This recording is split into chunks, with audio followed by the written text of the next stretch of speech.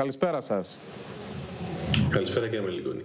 Λοιπόν, για να συνεχίσω τη συζήτηση από εκεί που την ε, αφήσαμε και με τον κύριο Καλπάκη. Αν είχαμε τώρα στην παρέα μας ένα στέλεχος της Νέας Δημοκρατίας ή της κυβέρνησης, ε, το λέω επειδή και το ΚΚΕ έχει θέσει, πολύ, έχει θέσει στην κριτική του το θέμα της ατομικής ευθύνης, ε, θα σας έλεγε εντάξει, ε, 150.000 άνθρωποι πάνε στα σχολεία. Προφανώς δεν μπορεί να υπάρχει ένας γιατρός ή ένας νοσηλευτής ε, για να κάνει το self-test στον καθένα από αυτούς. Δεν είναι συλλογική διαδικασία και απολύτως συμμετοχική διαδικασία η αντιμετώπιση της πανδημίας. Δεν αφορά και εσάς και εμένα και τα παιδιά μας και όλους μας. Ναι, αυτό όμως δεν μπορεί να αθώσει σε καμία περίπτωση την κυβερνητική ευθύνη, γιατί δεν έχουμε όλη την ίδια ευθύνη απέναντι στην πανδημία, την ίδια ευθύνη απέναντι στο να στελεχώσουμε τα δημόσια νοσοκομεία, την ίδια ευθύνη στο να προσλάβουμε όλο το απαραίτητο προσωπικό με μόνιμη και σταθερή εργασία. Και να σας πω και κάτι. Ναι.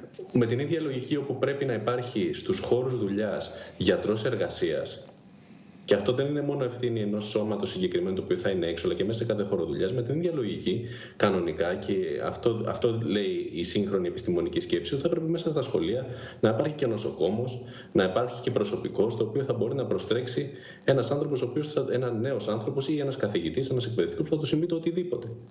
Πόσο δε μάλλον σε συνθήκες συγκεκριμένες πανδημίας, όπου ε, κατ' επιλογή να πω, ε, των κυβερνήσεων και της τωρινής βεβαίως με τη μεγαλύτερη ευθύνη γιατί αυτή διαχειρίζεται την κατάσταση της πανδημίας εδώ και ένα χρόνο Ναι. και έχει επιλέξει αυτόν τον τρόπο της ατομικής ευθύνης έχει επιλέξει ε, να συνεχίσει να μην παίρνει τα απαιτούμενα μέτρα που είναι κατά, κατά μας τα μαζικά επαναλαμβανόμενα τεστ στους χώρους δουλειάς, στα μέσα, τε, την αρέωση των δρομολογίων, το μέσο μαζικής μεταφοράς έτσι, και τη στελέχωση του συστήματος υγείας, αλλά και των προηγούμενων, οι οποίες και η κυβέρνηση Νέα Δημοκρατίας Πασόκ και η κυβέρνηση ΣΥΡΙΖΑ αποψήλωσαν πραγματικά το δημόσιο σύστημα υγείας, έκλεισαν νοσοκομεία, πέταξαν δεκάδες χιλιάδες ανθρώπους έξω.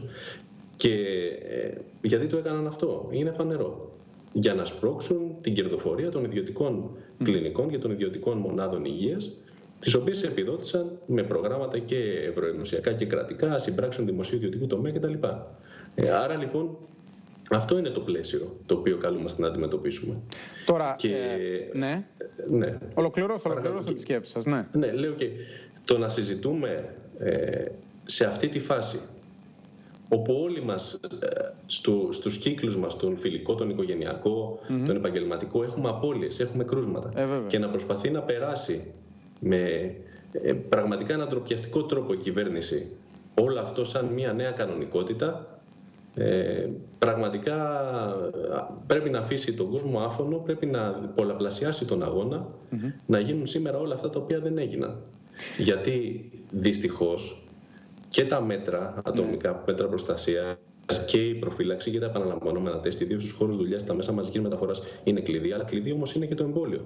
Και οι ρυθμοί των εμβολιασμών που προχωρούν σε ολόκληρη την Ευρωπαϊκή Ένωση, θα πω, με βάση τα χτεσινά στοιχεία, μιλάμε για το 7,5 περίπου της εκατό του πληθυσμού το οποίο έχει κάνει τη δεύτερη δόση.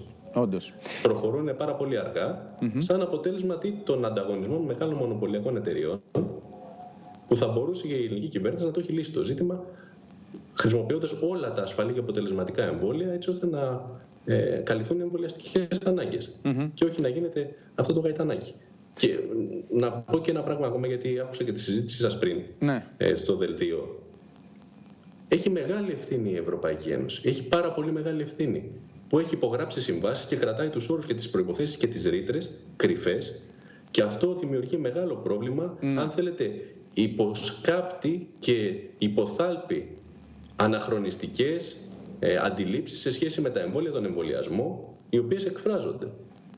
Ενώ αν είχε, ε, πώς να το πω, αν είχε απαντήσει θετικά στο αίτημα που καταθέσαμε και εμείς η Ευρωκοινοβουλευτική Ομάδα του ΚΚΠ τις 15 Νοεμβρίου και άλλοι, να τις δημοσιοποιήσει για να ξέρει ο, ο ελληνικός λαός και, ο Ευρωπαϊ, και οι ευρωπαϊκοί λαοί Ναι. τι έχουν πληρώσει με τα χρήματά τους, με τη φορολογία τους και ποιες είναι οι κρυφές ρήτε και τι συμβαίνει, ποια είναι τα επιστημονικά δεδομένα, θα ήταν διαφορετικά η κατάσταση ενδεχομένως.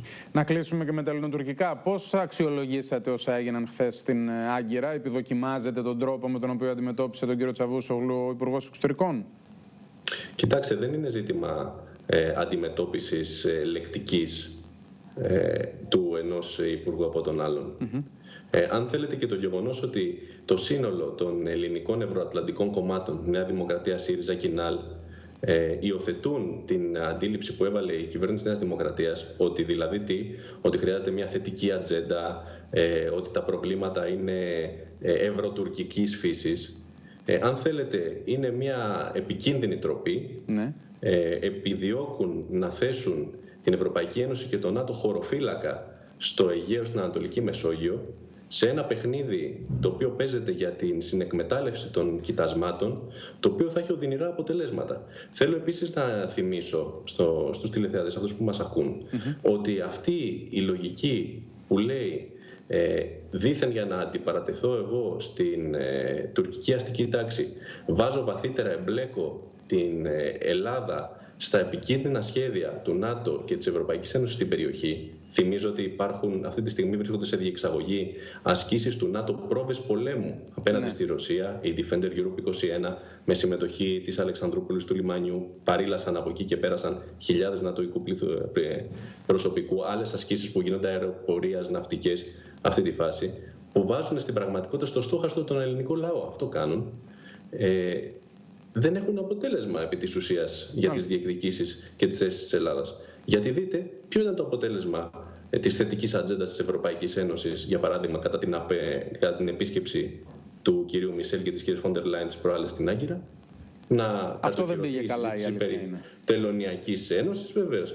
Η κατάπτυστη συμφωνία ε, για το προσφυγικό Ελλάδας-Ευρωπαϊκής Ένωσης και η ε, εμβάθυνση ακόμη περισσότερο της ε, σχέσης, mm-hmm. στρατηγικής εταιρικής σχέσης Ευρωπαϊκής Ένωσης με την Τουρκία. Άρα λοιπόν, ε, κατά την άποψή μας, είναι ένα, μια συνέχεια αυτή η επίσκεψη των ε, διερευνητικών συνομιλιών μεταξύ δύο νατοικών συμμάχων, της Ελλάδας και της Τουρκίας, αλλά δεν μπορεί και δεν πρέπει να εφησυχάσει το λαό μας. Το μόνο πράγμα που μπορούμε να κάνουμε πραγματικά είναι και ο ελληνικός λαός και οι γείτονες λαοί να εντείνουν την πάλη τους για την απεμπλοκή από τα επικίνδυνα σχέδια από τους υπεραλιστικούς οργανισμούς, γιατί μόνο σε αυτή την κατεύθυνση και με την οικονομία και την εξουσία στα χέρια τους μπορούμε να έχουμε ειρήνη και ε, σχέσεις αμοιβαίους ωφέλους. Κύριε Νικολάου Λαβάνες, σας ευχαριστώ θερμά για τη συζήτηση. Να είστε καλά. Καλό βράδυ. Καλό βράδυ.